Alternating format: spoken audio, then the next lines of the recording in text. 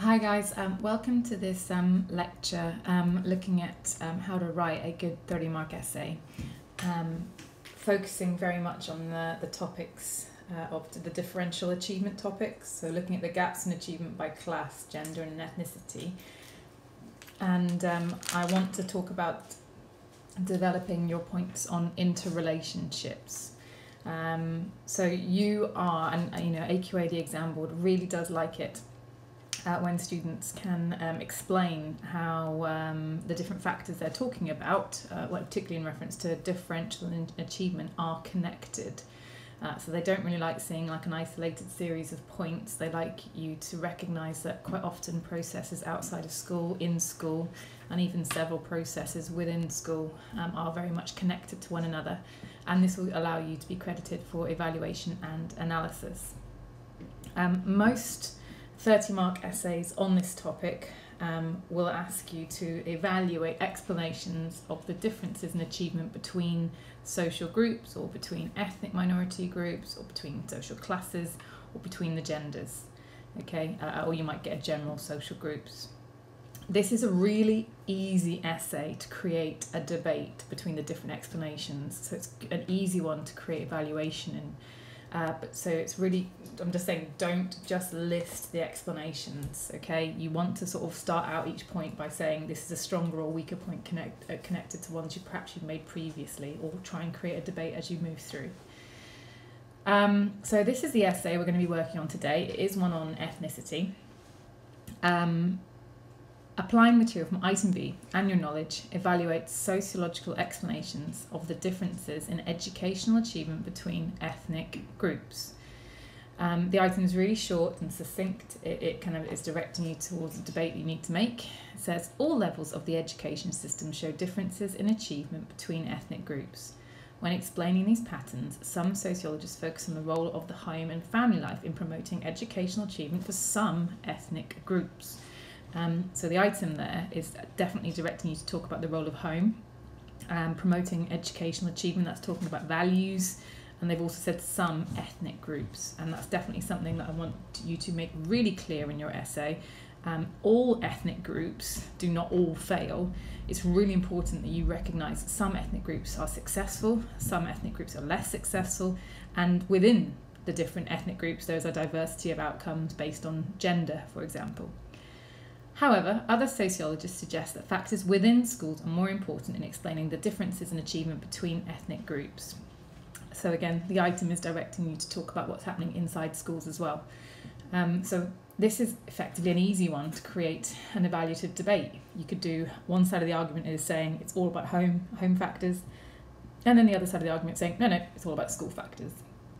However, like I mentioned earlier on, the focus of this particular lecture is, is how you develop your interrelationships.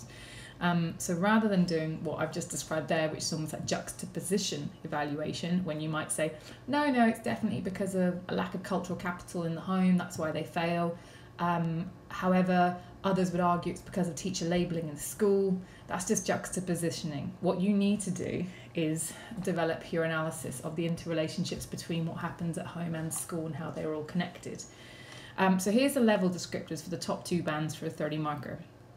Um, so if you just look at the top section, that's all about your knowledge, your AO1. So you need to have sound, conceptually detailed knowledge on a range of relevant materials. You need a wide range of points on the differences in educational achievement between ethnic groups. A sophisticated understanding of the question material will be shown.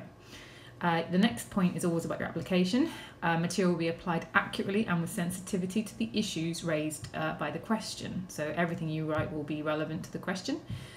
And uh, this last uh, section is your AO3 skills. Okay, your analysis and evaluation will be explicit and relevant. Evaluation may be developed, for an example, through a discussion of the relative importance of home background, e.g., cultural and material, versus school factors. So the ethnocentric curriculum linguistic factors, um, labeling, or the interrelationships between them. Okay, so there we are, I've circled it. Between them and wider social factors such as racism in society, analysis will show clear explanation and appropriate conclusions will be drawn. Uh, so what we're aiming for today is all of you to end this lecture with um, a band, a top band essay. Um, I've given you the next band, 19 to 24. Um, the, they don't mention the phrase interrelationships explicitly in the, the next band. However, from my experience of marking the paper, it is very hard to get into the 19 to 24 band unless you have identified the connections between what happens outside of school and in school. Okay, um, so if you want to pause the lecture to read through that in more depth, you're welcome to, or we'll just move on. Right.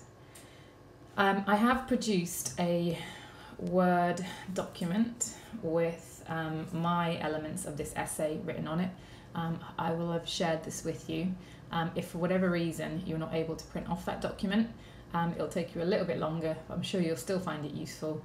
Um, just write out the sec- sections that I've written, and then I'm going to ask you to add your own points to it. So this lecture is slightly different to my last one on 30 mark essays because you you are going to have to write aspects of this essay yourself rather than just listen to me talk about what makes a good or bad essay. Um, so really really uh, quick plan here. You want to chunk your question. Um, so um, I would have definitely chunked um, you know uh, explanations of differences. Okay, um, educational achievement as a second one, and between ethnic groups. Um, now, with that differences linked to the ethnic groups, you must discuss why some do well and some fail. It's very important you don't lump all ethnic groups together. It's not, not right and it's certainly not fair. Um, so, in terms of differences, um, I just thought quickly of a few different groups we could talk about. I said about talk about maybe why Chinese and maybe Japanese students succeed. Uh, black girls can do well uh, due to strong female role models in lone parent families, and I've got Mary Fuller's study that I want to talk about as well. Um, black boys are more likely to fail. Um, we, we know that, um, that the black community is unfortunately more likely to fail, particularly from, from boys. And also, I want to talk about white working class failure as well, because it does say between ethnic groups. It doesn't just talk about ethnic minority groups, okay? Um, so, then I sort of thought, okay, let's just think of uh, two or three home factors, two or three school factors. So, home factors, um, I'm going to talk about cultural deprivation, um, a sort of cultural deprivation theory. I thought, um, particularly speech uh, codes and family life. Um, and I'm going to try and uh, evaluate that, AO3 that, by um, perhaps using black girl success, particularly because of the strong female role models in lone parent families and black communities. Um, want to do a point on material deprivation, explaining uh, failure. Uh, I also want to make that connection to racism in the workplace, which you know was, was mentioned in the mark scheme there in the top band. Being able to make that connection beyond what's going on in schools and home. There's also other factors going on that can explain failure, perhaps between some communities. Um, but again, I want to AO3 evaluate that with the fact that um, Chinese students do particularly well, even though they do become come from materially poorer backgrounds, working class backgrounds. Um, and you should know that that's generally because of the really strong education values within that community. Um, so school factors, just for your reference for the rest of this lecture and, and the essay, I've done in red, so you can see the difference between home and school. Uh, so school, I'm going to talk about teacher racism leading to labelling, uh, which can also uh, trigger uh, the self-fulfilling prophecy, uh, generally because lots of um, uh, minority students, particularly the black community, end up in low sets uh, where, for example, um, anti-school subcultures are more likely to, to be formed, which value, you know, um, the inversion of school values, anti-school behaviour, and uh, they do not value educational success. Um, I'm going to hopefully have time to write about the ethnocentric curriculum, um, make some sort of reference to the institutional racism of education, and the fact that you know black and minority ethnic students don't generally feel that they belong perhaps because of the nature of um, the british education system which can of course lead to a lack of motivation along with other complex issues um, so like I said, if you were going to do a juxtaposition evaluation essay, you could just write about all the home factors in your first half of your essay and then do all your school factors in your second half of your essay. You wouldn't get above 19, okay? Um, you you have to have some level of developed evaluation to get into that second band, which is 19 to 24. Um, so that'll give you 19 out of 30 if you did an essay like that. So let's try and move beyond that. Um, so you know I can recognise just by looking at this plan that the home factors on the left are connected to most of the school factors on the right. Um, and I've just drawn a load of arrows, which obviously looks a bit complex when you see them all at once. But I know, for example, that the way students learn to speak at home links to labelling in schools and teachers' perceptions of language can be quite racist. Um, you know, they might hear um, a strong Afro Caribbean accent and um, see that as a behaviour issue or, or, an indication of them not being clever enough, for example. So I know I can connect those two processes.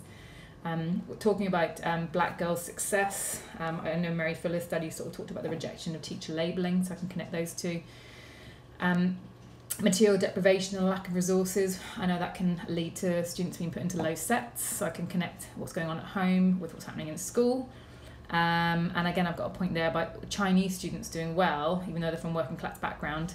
Uh, that's yes, of course, because of values at home, but also because they really do benefit from a positive label in school, and as a result, a positive self-fulfilling prophecy as well. Um, oh, and sorry, cultural deprivation. I've also connected to the ethnocentric curriculum, which is obviously biased in favour of a white middle class um, upbringing. So this is a really quick plan that I've drawn up. Um, so let's have a look at getting started. Um, of course, in 30 mark essays, you have the time to write an introduction. I cannot stress enough that they must be really brief, maximum two sentences. Do not just regurgitate everything you're about to write in detail. Do it really, really quickly because you're just wasting time. So here's my really brief one. Um, there are clear differences in the achievement of stu- students when divided by ethnic background. Black boys, for example, are more likely to fail, while Chinese students succeed. But it's not as simple as saying that this is because of a poor home life or due to racism in schools. The reasons are complex and often interlinked. Um, so I've made a real nod there towards the fact that I'm going to discuss home and school. Um, but that final point is, you know, I'm going to talk a lot about interlinking or how different processes are linked together, okay, because I want to get into that top band with this essay. So, our first point, I have written the first section, if you like, and you guys are going to write the second section. So, um, I've talked about cultural deprivation, uh, sorry, cultural deprivation theory, and uh, I've actually used this to develop my debate throughout the entire essay. I've effectively, I'm going to start off talking about their approach, um, but I am going to then criticise it using several other um, uh, factors as I go through the essay. So, cultural deprivation theorists agree with the item that the failure of black students is down to their home life. Basil Bernstein, Bernstein pointed out that how children learn to speak has a huge impact on how they do in school.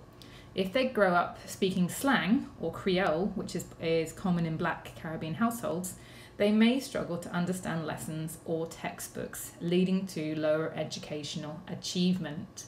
Um, so I've mentioned lower educational achievement at the end of that section of the point because that's clear application back to the question. You must remember to keep talking about lower educational achievement of the ethnic group that you're talking about. However, the way black students speak affects in-school processes as well. Dot, dot, dot. Um, so this is where I'd like you to write the rest of this paragraph. Okay, I'd like you to make the connection between how young people, black students particularly, learn to speak at home and what happens in school as a result of the way they speak. Okay, um, and that I would like that to be relatively developed. I have given you the final sentence though. Um, therefore, the way students learn to speak might be less important than the teacher racism in schools that leads to black students achieving less well. Okay, so I've given you your final sentence. So I'd like you to pause the lecture at this point, and I'd like you to write the rest of that point about what happens to black students in schools, perhaps because of how they might speak.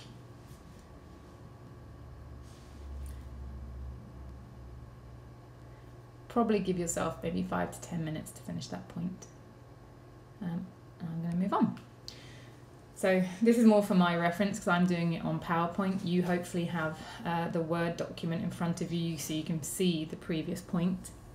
So just to summarise, that first point was on cultural deprivation and speech codes at home and it was linked with teacher racism in schools, um, hopefully, in the point you wrote, you talked about labelling. Hopefully, you wrote about self fulfilling prophecy and maybe maybe some connection between being put in low sets and the formation of subcultures. So hopefully, those things have been referred to. Don't panic if you haven't mentioned them just yet. Those things in brackets. Um, we will be looking at them in other points. So the second point then. Um, cultural deprivation theorists argue. So again, I've opened with cultural deprivation theory, which is exactly how I opened up my first point. So I have created, if you like, a chain of reasoning, reasoning here. Uh, cultural deprivation theorists argue that family life has a huge effect on achievement. New right thinkers point out that black families are more likely to be LPFs, lone parent families, and as a result, children from these families are less likely to be socialised to value education and respect the rules of school. At Sewell, that's Tony Sewell, argued that the lack of male role model in black households was especially harmful for black boys. In school, because of their lack of value for education, dot, dot, dot.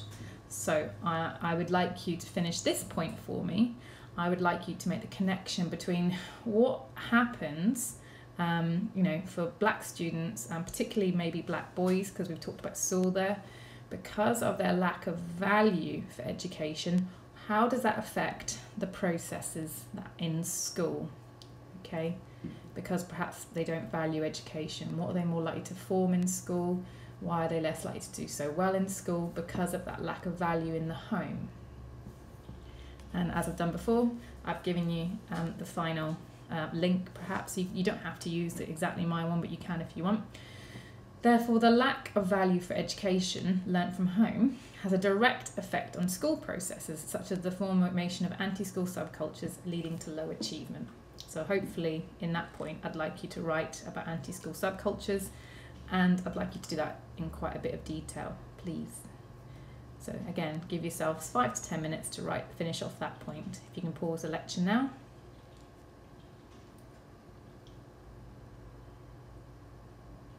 Okay, fantastic. Uh, I'm going to move on to point three now. So I'm kind of hoping in that point too, um, you know, we talked about, I talked about culture deprivation, lone parent families, lack of value of education interlinked with anti-school subcultures. And I'm hoping some of you perhaps used uh, the use of Tony Sewell's uh, Rebels, perhaps, um, when he talked about how black boys respond to racism in schools. Um, he talked about the rebel response which is very much linked perhaps to the, their, their value set. Um, and you could have also have clearly, you could have actually evaluated that whole point really saying it's not because they don't value education at home, it's more because of the teacher racism that they face in schools that they lead to forming those anti-school subcultures. That is an absolutely valid point to make and would be a good point of evaluation. It's just not one that I've done in my version of this essay at this point. However, what cultural deprivation theorists ignore, so again, I said I was going to use cultural deprivation theory throughout this. I'm clearly uh, evaluating cultural deprivation theory now, and that is chain of reasoning because it flows through all the points. However, what cultural deprivation theorists ignore is the success of black girls from lone parent families who are inspired by strong female role models, often their mothers, and have the cultural capital to value education. Um, so there's another bit of chain of reasoning there because I'm talking about LPFs, which I talked about in the previous point. Mary Fuller's study found. So I want you to finish off this point. I don't want you just to describe Mary Fuller's study in depth. That's that's going to be descriptive. That's not going to be very useful. I want you to talk about Mary Fuller's study, um, and I want you to make the connection between the, the girls that she studied and how they valued education. Okay, so they had that value of education um, despite the teacher racism that they faced in school and the teacher labelling and, and how they managed to do well because of that. Okay? And I want you to keep on making that link back to the fact is that those girls, yeah, they, they, they, they had the cultural capital to value their education. Okay? Um, and I've given you the link again, so once you've finished your point, you're more than welcome to use my link. Therefore, it's clear that these black girls were not culturally deprived and did well despite teacher racism. Okay, so again, it's a, an application to achievement because it says did well. Okay. Um, so get give yourselves five to ten minutes to finish that point using Mary Fuller's study, and then we'll move on to point four. If you just pause.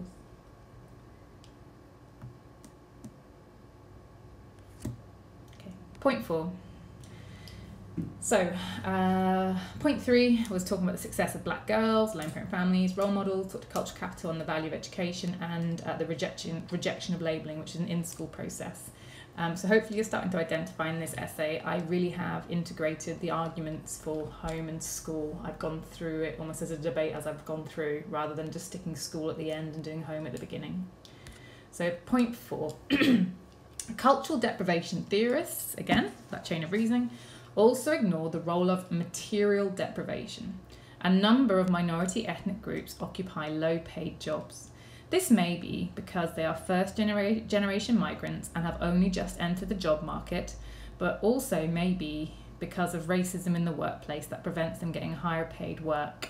The reason I've highlighted that in yellow is that it can be really frustrating and a bit annoying uh, when I read an essay that says ethnic minority groups are working class or ethnic minority groups suffer material deprivation. You need to explain why that is, okay, and also make it clear that not all ethnic minority groups are working class. That is not true okay?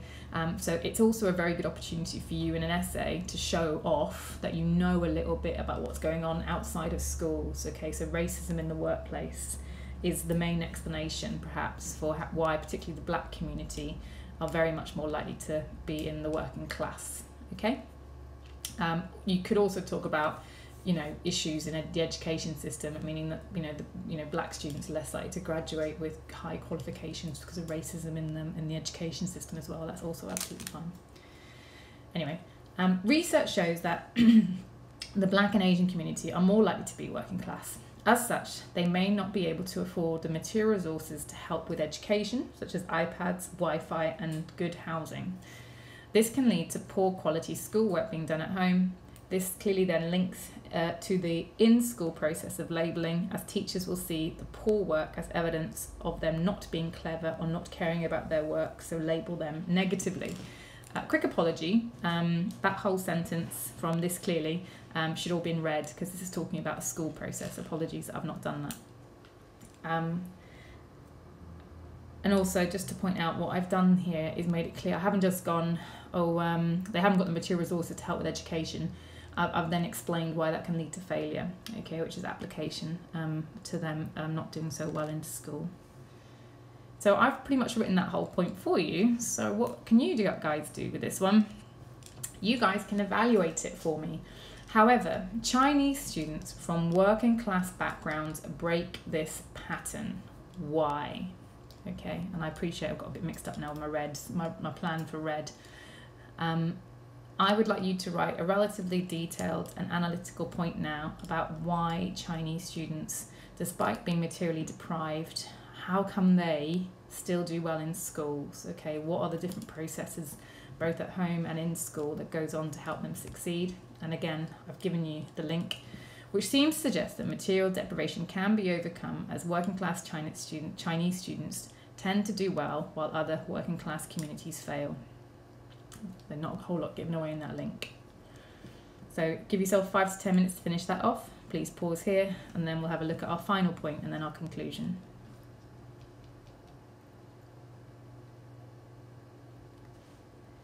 Okay, point five then. Uh, so point four, um, we talked. I talked about material deprivation, racism in the workplace, lack of material resources, linked to teacher labelling. So I've done that in red. Um, and then hopefully you've evaluated that using Chinese students and discussing the high cultural capital they have because um, they value education so much within the Chinese community for various reasons that hopefully you've mentioned. Um, and then I've linked this to in school processes. Um, they also benefit from the positive halo effect in schools. Chinese students are often seen as high achievers. To an extent, they're pathologized in that way um, because they're, they're, seen as like really hard sloggers, if you like. Um, and you might have, and it'd be completely fine and great if you did do this, you might even refer to the harm of those high expectations might do to those students um, uh, as, a, as a way of sort of evaluating the effect of high expectations on students. Um, and you would then need to connect that back to achievement though. So perhaps the really high expectations might lead to the students um, having mental health issues and not being able to succeed in school, for example. That's how you'd apply it to, to achievement. Anyway, wonderful. Um, so, point five then is on um, the white community. So, one of the most materially deprived groups in the country is the white working class community. As a result of under as a result, they underperform when compared to most other ethnic groups. The reasons for this are so I've left this one quite open for what you guys can write about for this. And I'm really I want to see this is a, the paragraph I'm going to want to see off you. Um, the reason you can, of course, write, write about white working class community is because the essay question just talks about expl- explanations of differences in educational achievement between ethnic groups. The white um, community is an ethnic group, and the white working class, if you like, is a, is a minority group, the white working class. So the reasons for this are um, it's only you've only got one paragraph to write, so you need to be selective about the issues that you do talk about. I've given you a range here. You could talk about their home life, work, uh, white working class street culture, speech codes again, labeling, set subcultures, Nike identities, um, parental choice, and sort of policies around league tables, for example, as well. Um, but in this point, as we've already done in our other points, I want you to talk about at least two, three, maybe even four processes, okay? And I'd like you to make the connections between them. So, for example, if you if you write about you know home life for the white working class, um, whether it's about values, for example, you certainly should be connected that to perhaps the labelling that happens in schools because of the values they end up with, or why they end up in bottom sets because of home life and values. Likewise, if you write about the street culture, you know, of their neighbourhoods, um, that would be very strongly connected to perhaps the in school formation of subcultures and, and Nike identities, if you want to use some Louise Archer's stuff as well.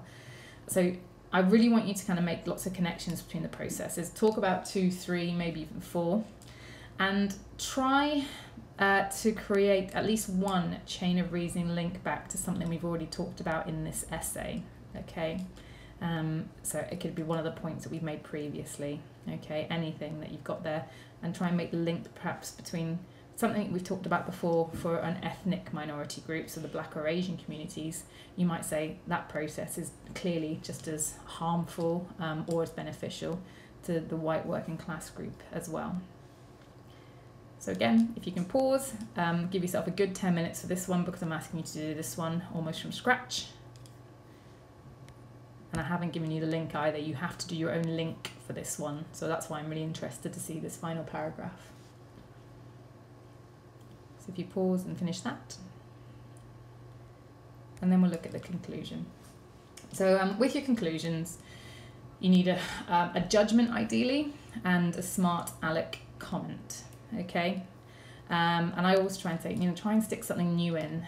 Uh, so I've written, to conclude, despite several policy attempts to close the gaps between ethnic groups, they still exist. No point have I referred to policy yet, so that's something new largely because most schools are seen as white middle class institutions where anything different doesn't quite fit. The symbolic violence ethnic minority students are subject to means they don't feel that they belong in many schools, leading to a lack of motivation, making a low achievement more likely.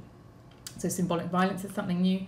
And I've clearly made a judgment that it's to do with problems with schools that lead to lack of motivation um, rather than blaming it on home life. That's the judgment that I've chosen for this particular conclusion. Now, you're not allowed to use my conclusion or any of the points that I've made in my conclusion. I've given you some suggestions here. These are things that we've not talked about yet. Uh, you could talk about uh, Tony Sewell's badge of victimhood, um, particularly for how black black boys view blackness as something they're, they're victim of, which can be very harmful in terms of how they sort of see themselves and their abilities in school and their identity generally. Um, something would be really interesting might be the influence of Black Lives Matter. You might do a relatively hopeful conclusion uh, because of the influence of Black Lives Matter. Will we see changes in education? Are we seeing changes in education that might narrow the gap because of it?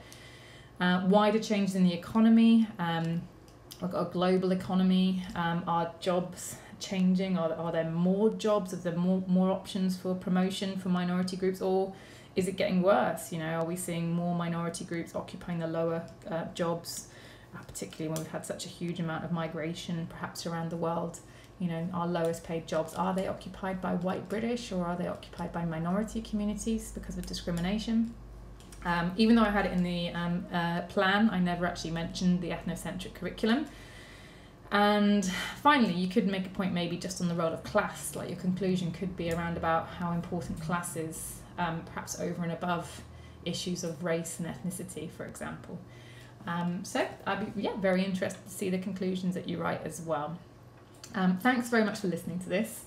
Um, I am going to ask you guys to share with me your um, your version of this essay.